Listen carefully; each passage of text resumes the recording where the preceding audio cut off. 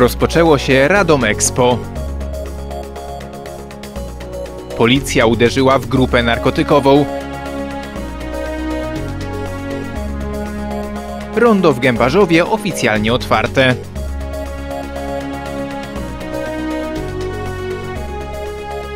Dzień dobry, Michał Kaczor, zapraszam na informacje telewizji Dami. Niemal 80 wystawców bierze udział w drugiej edycji Radom Expo. W Radomskim Centrum Sportu prezentują się radomskie firmy i placówki oświatowe. Impreza odbywa się na terenie Radomskiego Centrum Sportu. Rozpoczęła się w piątkowy poranek i potrwa do sobotniego popołudnia. Jej główny cel to prezentacja szerokiej grupie odbiorców tego, czym może pochwalić się nasze miasto w kontekście biznesowym, gospodarczym i naukowym. Oferta naszych radomskich firm, dziś, y, która, która, które prezentują się w hali Radomskiego Centrum Sportu, ma właśnie odpowiedzieć na pytanie młodych ludzi. Czy warto zostać w Radomiu, czy warto pracować w radomskich firmach? Takie wydarzenia powinny być y, i częściej, ale też y, to, co mnie sz- cieszy w- szczególnie w tym roku, to połączenie tego panelu biznesowego z y, pre- prezentacją oferty uczelni wyższych, w tym szczególnie Uniwersytetu Radomskiego. Naprawdę wszyscy chcemy, żeby te badania i efekt tych badań prowadzonych w Uniwersytecie Radomskim był wykorzystywany w radomskim biznesie, powiem tak górnolotnie, ku chwale budowania potencjału gospodarczego i dobrobytu naszego miasta. W drugiej edycji Radom Expo bierze udział 80 wystawców. To przedstawiciele wielu branż takich jak przemysł metalowy, automatyka i budowa maszyn, przemysł spożywczy czy kosmetyczny. Są także firmy z sektora informatycznego czy usług biznesowych. Od atrakcji dedykowanych studentom i uczniom, e, które wiążą się e, z różnego rodzaju warsztatami, prelekcjami, po debatę o rozwoju Radomia, o rozwoju Radomia, która odbędzie się dzisiaj w samo południe z przedstawicielami Instytutu Rozwoju Miast i Regionów, po takie e, atrakcje, które myślę ucieszą każdego mieszkańca, od począwszy od degustacji wyrobów naszego rodzimego e, przemysłu spożywczego, piekarniczego, e, po możliwość przejażdżki samochodem elektrycznym i wreszcie zobaczenie na jakich liniach, na jak bardzo zaawansowanych liniach produkcyjnych pracują nasze radomskie firmy. Wystawa Radom Expo w hali Radomskiego Centrum Sportu w sobotę 12 października będzie czynna od godziny 10 do 16. Mazowiecka policja skonfiskowała 40 kg mefedronu. Narkotyki miały być produkowane na terenie powiatu białobrzeskiego. To efekty działań policjantów z Wydziału do Walki z Przestępczością Narkotykową Mazowieckiej Policji i Kryminalnych z Żuromina. Funkcjonariusze wytypowali grupę osób, która zajmowała się nielegalnym wytwarzaniem narkotyków i handlem środkami odurzającymi. Produkcja miała odbywać się na terenie powiatu białobrzeskiego. Na terenie posesji w dwóch budynkach gospodarczych ujawniono i zabezpieczono dwie funkcjonujące linie produkcyjne do wytwarzania mefedronu.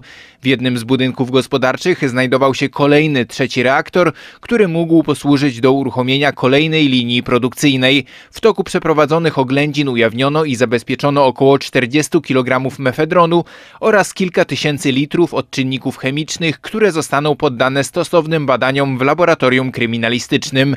Policja zatrzymała trzech mężczyzn w wieku od 22 do 32 lat. Wszyscy usłyszeli zarzuty wytwarzania oraz posiadania znacznych ilości narkotyków i zostali aresztowani na 3 miesiące. Grozi im do 10 lat więzienia.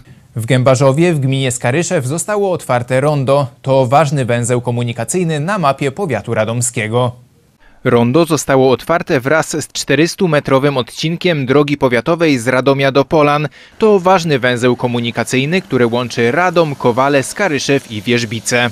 Droga została poszerzona, została wybudowana ścieżka rowerowa, wszelkie znaki poziome, pionowe, wzmocniona została podbudowa, czyli nawierzchnia drogi jest zupełnie inna niż poprzednio, ponieważ jest yy, wzmocniona o to, aby no, ciężkie pojazdy również tędy jeździły, bo ta droga, Szanowni Państwo, to droga szczególna również pod względem yy, komunikacyjnym, pod względem rozwoju tych miejscowości i tych gmin. Prace kosztowały prawie 5 milionów złotych, z czego powiat radomski otrzymał dotację w wysokości prawie 3 milionów z budżetu samorządu województwa mazowieckiego. To nie tylko rondo, to też odcinek drogi, ale to też przede wszystkim chodniki e, i e, ścieżki rowerowe, które e, w pewien kompleksowy sposób łączą mm, gminy, ale przede wszystkim łączą też te gminy z, z miastem Radom.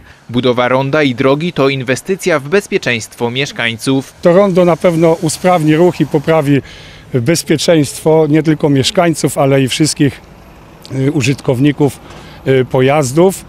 Y, Myślę, że będzie spełniać y, swoją rolę, tym bardziej, że natężenie ruchu będzie tu wzrastało. Cały odcinek drogi powiatowej Radom-Gębarzów-Polany liczy ponad 15 km. Pierwszy odcinek od granicy Radomia do Gębarzowa o długości ponad 5 km został rozbudowany w 2019 roku. Drugi etap obejmuje pracę na odcinku o długości 1780 metrów. Wartość tych robót wynosi ponad 9 milionów złotych, a dofinansowanie z Polskiego Ładu to ponad 8 milionów. Prace mają zakończyć się w czerwcu 2025 roku. Ochotnicze Straże Pożarne z gminy Jastrzębia otrzymały nowy sprzęt. Było to możliwe dzięki dofinansowaniu samorządu województwa mazowieckiego. Strażacy ochotnicy z OSP Jastrzębia, OSP Bartodzieje i OSP Mąkosy Stare zostali wyposażeni w nowoczesny sprzęt, który zwiększy efektywność ich działań. Bardzo się cieszę, bo rzeczywiście celowany sprzęt, który widać to w większości sprzęt ochrony osobistej dla strażaków, którzy biorą czynny udział w akcjach ratowniczo-gaśniczych. Biorąc pod uwagę zmiany klimatyczne i to, co się dzieje w e, pogodzie, naprawdę musimy być gotowi na, na to, żeby ochotnicy wspierali Państwową Straż Pożarną. Wśród otrzymanego wyposażenia znalazły się m.in. specjalistyczne ubrania, buty i hełmy strażackie, maszty oświetleniowe, kamera termowizyjna, motopompa pływająca oraz pilarka łańcuchowa. To oczywiście jak najbardziej usprawnienie pracy. W OSP Jastrzębia mamy czynnych druhów, do, do akcji wyjeżdża 25. W zeszłym roku mieliśmy 100, około 100, 100 wyjazdów mieliśmy. To nie pierwsze dofinansowanie od samorządu województwa mazowieckiego, z którego skorzystała gmina. Że stało się to taką tradycją, że co roku korzystamy ze środków e, wspierających nasze jednostki strażackie i nie tylko w zakresie sprzętu i wyposażenia, ale także modernizacji, bo w tej chwili już wszystkie e, strażnice zostały wyremontowane. E, W tym roku również budynek remizy w Bartodziejach, gdzie jest nowa brama i też modernizacja w środku obiektu. Samorząd województwa mazowieckiego przeznaczył na nowy sprzęt dla strażaków ochotników z gminy Jastrzębia blisko 38 tysięcy złotych z programu Mazowsze dla straży pożarnych. W dzisiejszym wydaniu informacji. Zapraszam teraz na sport i prognozę pogody. Do zobaczenia!